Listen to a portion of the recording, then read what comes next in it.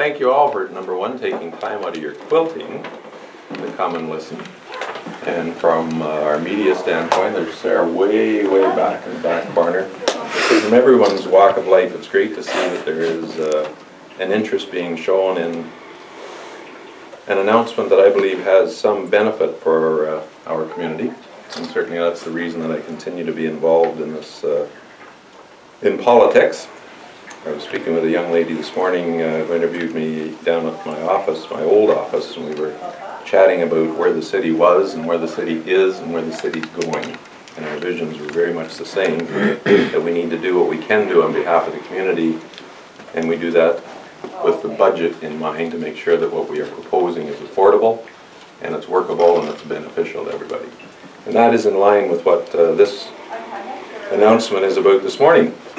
During the 2010 election campaign, I released a series of proposals having to do with city governance. That is the way that we organize the responsibilities and resources of city councilors so that they can best serve their constituents. In setting out those proposals, I can recall that the reference I used most frequently at the time was a very simple word, but a very meaningful word, word called communication. I've long been an advocate of the idea that the best way to avoid a closed mind is to keep an open channel of communication. And I ensure that I do that in my own day-to-day -day life, and I see that with other people who are very successful in getting things done. Over the past four years, we have made some very good and innovative progress in improving communication with those we serve. I include here providing councilors with updated cell phones, their own discretionary budgets, and dedicated staff at City Hall. A new social media policy for the city, my own pages on the city website, my own Twitter account, and three Twitter town halls.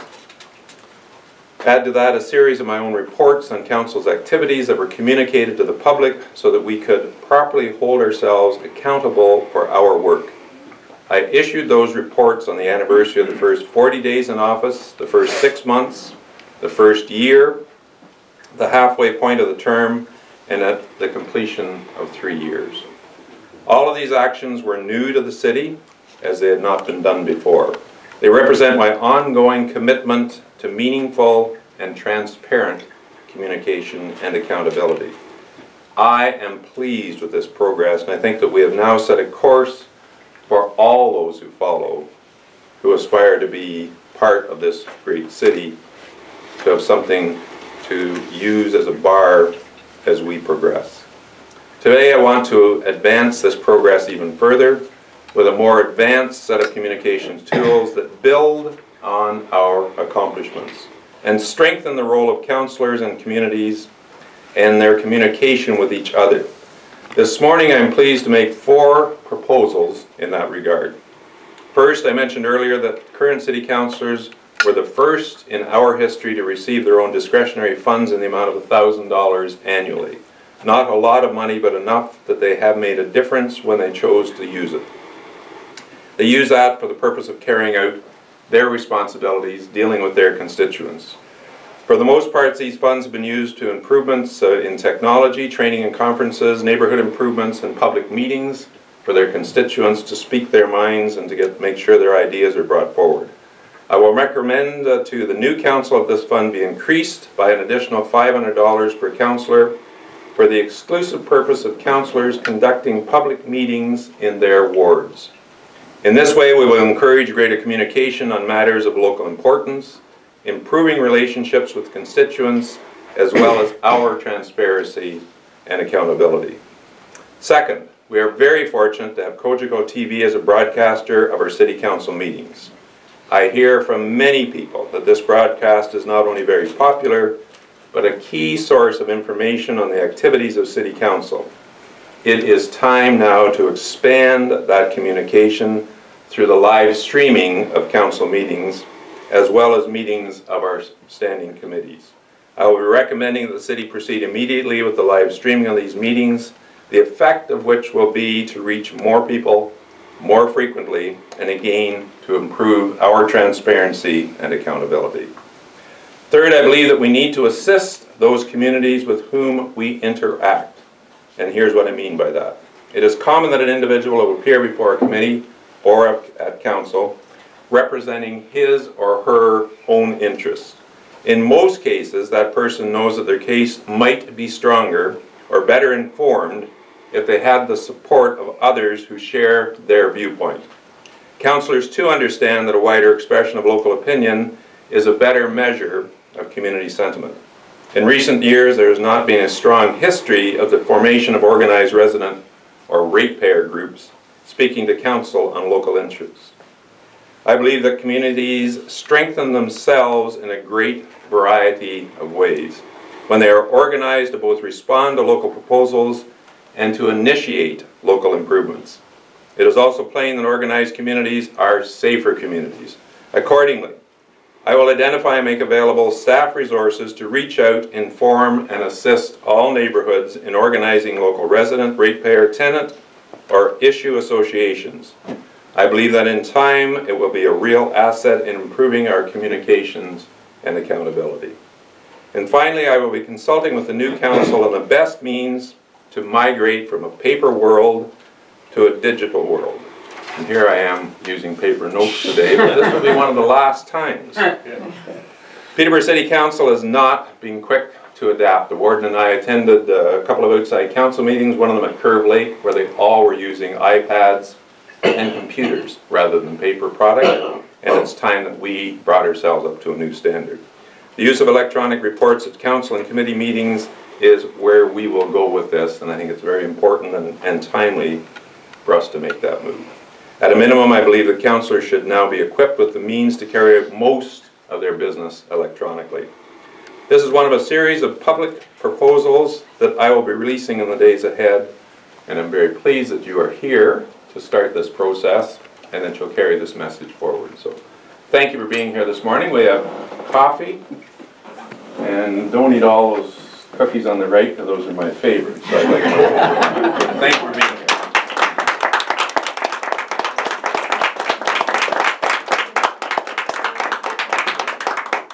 And I would gladly, if there's any questions from anybody, I'd gladly try to uh, propose an answer. Does anyone want to talk about parkways or casinos or police matters or undertakers?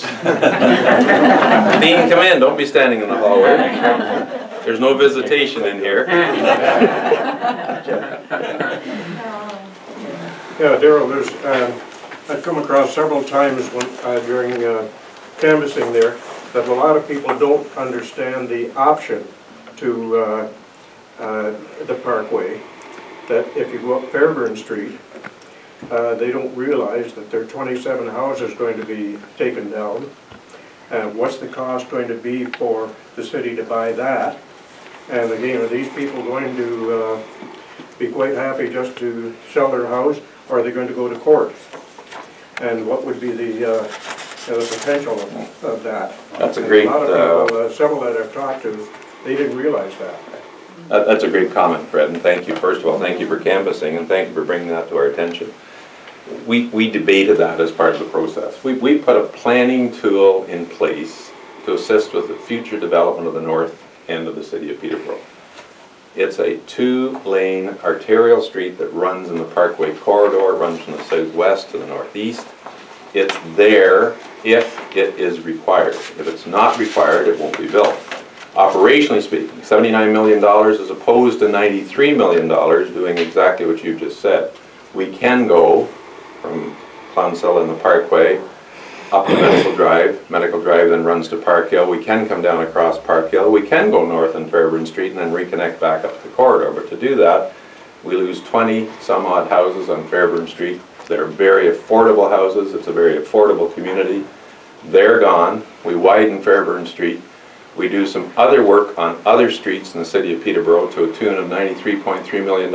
And then just when the development occurs in the north end, that all fails and we have to go back to the drawing board and do it all over again. So the proposal that's in front of us makes perfectly good sense from a planning standpoint, it makes perfectly good sense from a financial standpoint, and it works. That's what, that's what it's all about, and all we've done is said to staff, there's the tool, as the proposals come forward, there's how you can go ahead and propose a bill. But the anti-parkway uh, people have been concentrating on no bridge, but they don't tell you the option, what it's going to cost for that. Yeah, and, and that's, passion, emotion, and misinformation. It was very evident through that process, and it's, the interesting part of it is, and what position you take on is your business, not mine, but my position is clear. The people who are showing major opposition to it are from Park Street on the south, sorry, on the east, Monaghan Road on the west, Charlotte Street on the south, Park Hill Road on the north. That's the group of people in that area who are showing most concern about the park. I had an environmentalist come up to me after the last debate, and he said that he actually was invited on the tour by the No Parkway people. He walked the whole park with them. They showed him the trees that were gonna be in danger, they showed him where the bridge was gonna go, and he said to me afterwards, build the parkway. It's the only logical thing to do, because those trees are at their lifespan cycle now. This is gonna be the perfect opportunity for it, and he said it's going to enhance the city, it's not gonna be a detraction. You know, How many trees coming down along uh, Fairbairn too? Considerable. Yeah. It's a ma, it's a major upheaval in that area. Yeah, And it, it was, there was lots of debate about it, there was lots of opportunity to bring forward fresh and new ideas, and what we had was exactly what the consultants had uh, ruminated over. They, they went through every possible scenario, and what they came up with was the logical plan for future use of that corridor as it relates to growth in the city. And that, that's, we get it all the time, people want jobs, great. You're not going to have a ten thousand man factory move back into the city of Peterborough, those days are behind us. The new technology almost demands that you don't have that type of environment. What you do have, though, is the need to deal with people's needs. Twenty-five thousand people in that community are seniors. Within three years, there'll be more people over sixty-five than there will be under fifteen, under fourteen, actually. We need to understand what their needs are. We need to add more people to that mix, and the way you do that is to build and endorse size within this community. Fifteen to twenty-five thousand people is what we need to bring us up to almost a minimum standard as to what our growth factor is going to require going forward over the next ten to twenty years, and that's what the plans that are in place now have done. Look around the city and see the changes that you, that have occurred in the last four years. Modest by any standard, but major by a point from this community standpoint, what was affordable. Lansdowne Street West being redeveloped, Park Hill Road being redeveloped, the new buildings downtown Peterborough, the removal of the old scrapyard on Bethune Street that seemed to miss everybody's attention, that took a major amount of tact and finesse to make sure that that was put through. All the old industrial sites now, virtually all of them, are being filled up, being repurposed, being reutilized. It's been quite a journey for the last four years, and I'll tell you, it does not happen easily. Daryl, I Mr. agree Brown. with you. I think the reaction to many people about the Parkway is passion and emotion. Yes, That's obvious. But that passion and emotion needs to be informed with reason. You call it lack of information, but you have to take a reasonable approach. A gentleman said to me just this past weekend, he said, "I'm not in favor of the Parkway." And I said, "Oh?" He said, "No, it's going to destroy the park."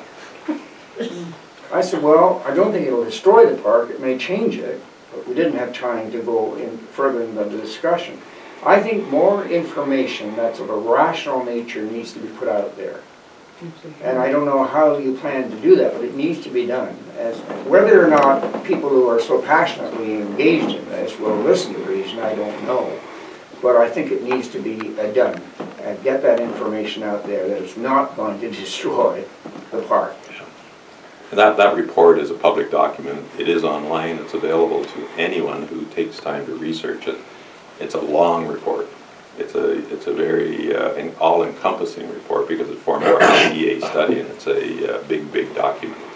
The bottom line is the actual high bridge that's going to the park will have perhaps four pillars go down into the park. The new engineering technology affords us the opportunity to build the bridge over the park from up above, not down below. So there's gonna be minimal disruption down below.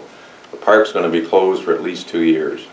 No, the park won't be closed for two days. There'll be some equipment down on the floor of the park, building the pylons to support the bridge. That's all that will happen on the floor. But you The other see, side of it is, and, and part of it, I'm sorry for stepping on you. you know, Part of it is, we could have gone down through the park and back up. We could have gone across with a little bridge. We chose the high bridge to, to appease as many people as we possibly could, but in doing that, the cost of doing that went up considerably, but it's still well within our financial capabilities of dealing with it. And on top of that, it's an enhancement to the community. There's many communities that would just thrive on having that feature within their community. As I wonder, one, we have the lift locks, we have a number of other bridges, this one will be quite spectacular. People, people will get accustomed to it very quickly, I can assure you. It's Yeah. beautiful with Well, my, my concern is, for instance, I've been following this, I didn't know some of the information you just gave me now. I'm not gonna read a three hundred and seventy-six report, page don't. report, and not- neither are many people gonna be reading that. But to condense that down, just as you did there, in a simplistic way, so that people can get that information and say, oh, that's what it's all about. That needs to, I think that needs to be done. And that information was brought forward at the debates when the Parkway uh, was being considered, the EA process was being considered, and it was dismissed. It was dismissed, they didn't care. They, they didn't care about the 27 homes on Fairbairn Street, those 27 families, those 27 extensions of our community. That didn't mean anything to them, they just didn't want their, their park interfered with. And it became very emotional and very passionate for a lot of people, and that's unfortunate, because you have to use your head, not your heart, That's to make said tough there needs decisions. to be some reason. Yeah, For sure. Daryl, I've been in this city all my life. This young lady is gonna be 90 this year, and this young lady held me the day I come home from the hospital. Just- Just two years ago. Uh, We've been talking about the Parkway as long as I can remember, at least 60 years ago, and it should have been built then. Now, I didn't realize that Jackson Park went up as far as Medical Drive. I thought Jackson Park stopped where the house is, or a little bit beyond, you know, the house that you go into. Jack- Jackson Park uh, actually continues down to uh, McDonald Street, and that's the south Well, I extension mean, of it. we Then it runs already- right up to uh, Atkinson Road on the north side. It's 4,000 meters long. Well, we do have a bridge over the park. Yes, we do. And that was built so that the people from the east could get across. I caught a little tone in your voice there. Did you grow up in the east? You're darn Bet it's the best part of the city as far as. And, um, uh, I found out that Jackson Park went right up to where Medical Drive is, over the hill. And I really didn't know that. was in behind that subdivision on the north side of Park Hill Road is what Yeah. I'm referring to, but more importantly, the development that's being proposed that, that is triggering the need for the Parkway study is 28 house, 2,800 homes in the Lily Lake subdivision area. That will give us two and a half times more land to add on to the existing park. That's part of the proposal coming forward from the developer, and they're very pleased to give it up because it's hilly terrain, but it's just an extension of Jackson's Park. So it's going to double, two and a half times the size of what's there now, free land to the park, free land to the users of the city of Peterborough, the people who want to make use of that. It's a fabulous addition, a fabulous addition. Well, you built the hospital over in the west end. You built the uh, mall down in the south end. Nobody ever thinks of the east end. And it's a long way to the hospital from the east. And if they can get there faster, maybe they can save a few that have heart attacks. Because there's an awful lot of us getting older. You know, we're not getting any younger. And I remind you now, you're living at Applewood, which is in the west end. I know where you live. Carolyn? Carol, your comments this morning are very revealing. I had not heard it put that way before, and to expound upon our friend uh, over here saying that that was important, very much so. How in the world can you get that message, as you've given it to us today, without reading the big, oh, it's online and all the reports? Mm-hmm. You've not had an opportunity other than today, and we're a small group. This, what you've said today needs to go further.